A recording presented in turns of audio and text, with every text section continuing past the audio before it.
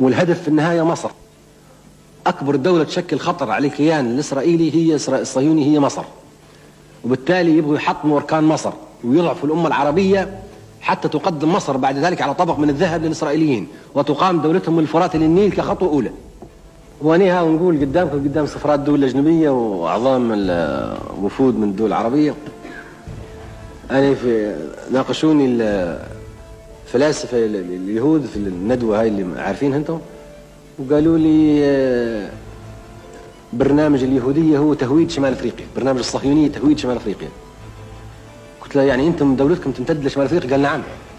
ولكن للأسف قال فشل وتعثر كان يجب أن ينجح. طيب كيف من تل أبيب تحكم؟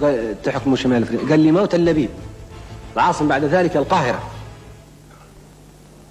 قلت له بالك تقصد القدس؟ قال لا القدس بنحررها ونسلمها للمسيحيين. أما الهدف في النهاية القاهرة مجمع البحرين. شو؟ قال لي أنت ما تعرف إن القرآن يقول أنت مش ما, ما أنت مش مسلم؟ قلت له إيه مش الله. تصدق ما قال القرآن؟ قلت له نعم. قال مش قال موسى لفتاه حتى أبلغ مجمع البحرين أو أمضي حقبة. وين مجمع البحرين؟ قلت له هذا بالك موجود غادي في نهر الأردن ولا في بالكثير شرم الشيخ. قال العقبة والسويس. قال لي لا مجمع البحرين رشيد ودمياط وين ما يجتمعوا؟ هنا القاهرة. هذه قال العاصمة اليهودية. عاصمة الدولة الإسرائيلية. التاريخية اللي بعدها ينزل المسيح. تو حكاية المسيح ينزل ما ينزل ممكن نضحك ونقول خرافة. لكن قادة الغرب يؤمنوا الرصاة الدول الغربية يؤمنوا للعظم بعودة المسيح بعد ما تكون إسرائيل الكبرى على إنقاذ العرب. هذه قضية تتعلق بنزول المسيح حسب اعتقاد المسيحيين الغربيين. إن المسيح ينزل لما تقوم إسرائيل كبرى وإسرائيل الكبرى ما تقوم إلا إذا سيطرت إسرائيل ما من الفرات للنيل من شمال أفريقيا إلى الشرق الأدنى.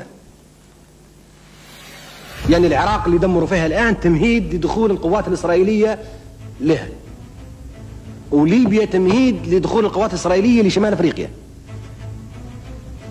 وكل أصدقاء أمريكا بعد ذلك لن ت... مهما توسلوا لن تصغي إليهم أمريكا عندئذ في تلك اللحظة. لا يمكن. تطلب منهم يؤدوا مهمة في فترة معينة وبعدين مهما صار مصالحنا مصالح الغرب ونزول المسيح أهم من ملوك العرب ورؤساء العرب وهاي القمة العربية هي كلها الصداقات العربية. قال لي حتى مش موسى قال حتى أبلغ مجمع البحرين وامضي حقبة. قال هل تعتقد أن موسى يعيش أحقاب من الزمان؟ قلت لا. مش ممكن يعيش أحقاب من الزمان يعني يعيش عشرات السنين ده. قال طيب ما لما يقول أو أمضي حقبة هل من اللي يمضي حقبة؟ معناها قال لي بني إسرائيل. ما هو موسى؟ هذه كناية عن أن بني إسرائيل ولو يمضوا أحقاب من الزمان لابد أن يبلغوا مجمع البحرين. مبلغ يعني ملتقى فرع رشيد وفرع دمياط. عاصمتهم لازم تكون القاهرة. واو التمهيد واضح. هذه مكتوبة بإصواتهم في جلسات حقيقية ما خيالية حاضرها ريجن وحاضرينها القادة من الغرب ويتكلموا عن معركة هامرجند وش اسمها يا نعم؟ نعم؟ مش مجدلون؟ همر آه كم أنتم عارفينها كويس. هاي المعركة هاي اللي إحنا نعتبرها خرافة حتى اسمها ماناش عارفينها. وهم مؤمنين بها إيمان تام إن هذه المعركة ستقع. وبعدها يأتي المسيح. وامتى تقع؟ تقع لما تقوم إسرائيل على انقاذ العرب من شمال إفريقيا للشرق الادنى كل الأنهار والمقدسات تكون تحت إسرائيل وعاصمتها القاهرة. وتقع هذه المعركة اللي تو ذكرتوها وبعدها ينزل المسيح. تو إحنا مساكين وطيبين نحسابه هذا خراف وما فيش حد يصدقه. لما جابوا لنا الفلاشة من غابات إفريقيا وقالوا هذول من بني إسرائيل. هي في حد يصدق وقاعد يبحث عن الإجناس؟ جو الإسرائيليين قالوا لا. هاي قبيلة فلاشة من بني إسرائيل. امشوا لفلسطين أرض الميعاد. الخزر الخزر يعني قوم ما لهم علاقة ببني إسرائيل ابدا. جابوهم من روسيا وقالوا لهم اسكنوا تعالوا فلسطين أرض الميعاد. هي ليش قامت الدولة هذه أصلا؟ مش قامت عليه خرافات دينية قديمة؟ إن هذه أرض الميعاد وأنكم أنتم شعب الله المختار؟ إحنا إحنا نقولوا خراف عام 48 معقولة في العصر عصر العلم ومش عارف. ما زال في حد يتكلم عن أرض الميعاد ما الميعاد ما شعب الله المختار. طلعنا إحنا المغفلين وتافهين. الخرافات ما صدقناش فيها. الخرافات خلقت دولة. ولا عند الآن إحنا تحت الخطر من أجل الخرافات من أجل المعركة هذه اللي نحكي عليها. وأن إسرائيل لازم تأخذ شمال أفريقيا وتأخذ الشرق الأدنى والأوسط وعاصمتها القاهرة. قولوا أنتم هذا خراف الآن المصانع تصنع في الطائرات وفي الصواريخ. في ديمونة يصنع الآن في القنابل الذرية والصواريخ النووية ما فيش حد يفتش عليهم ولا يقول لهم وقفوا. ويصنعوا في الأسلحة الكيماوية لإبادة العرب ويصنعوا في القنابل الجرثومية.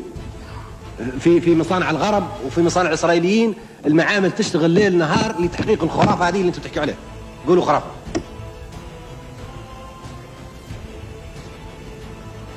هذا يعملوا فيه باسم المسيح. تدمير ليبيا إرضاء للمسيح تدمير العراق إرضاء للمسيح. وإن المسيحية فرع من اليهودية لأن عيسى من بني إسرائيل ويهودي. هم الآن يعتبروا بالولاية يدينون بالولاية يعني الغرب يدين بالولاية لإسرائيل لأن المسيحية فرع من اليهودية. وأنتم العرب كفار والمسلمين كفار ومارقين وأن محمد ما هو نبي. قالوا لي بهالشكل والقرآن قالوا لي هذه شريعة حمورابي. كذابين أنتم ما في قرآن. الله عمره ما يخاطب العرب. ليش لأن العرب حقراء؟ ما يخاطبهم الله. الله يخاطب اليهود بس وبني إسرائيل والمسيحيين لأن العرب فيه موقف عنصري منهم. تاريخي. من الأندلس ومن الفتوحات الرومانية ومن الحروب الصليبية ومن الاستعمار الغربي الحديث ومن زرع إسرائيل.